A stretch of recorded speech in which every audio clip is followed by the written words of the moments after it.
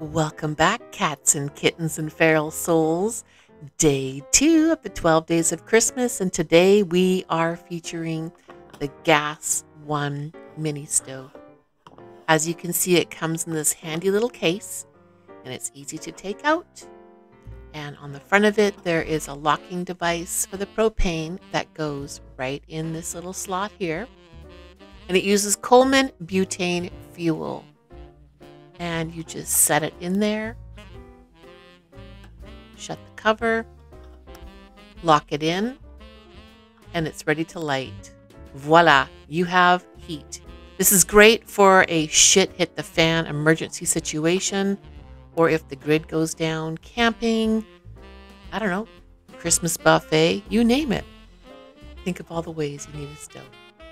You can also use the case around it as a wind guard and it does kind of hold the breeze off of the stove when you're camping.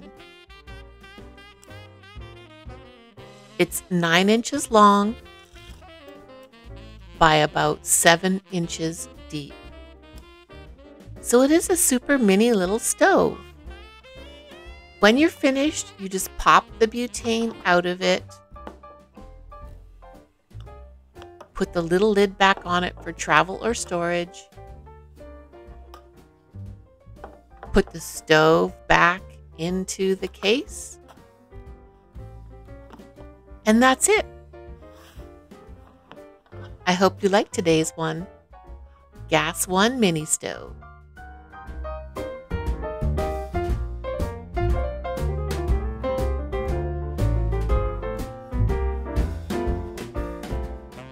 I'll see you guys again tomorrow.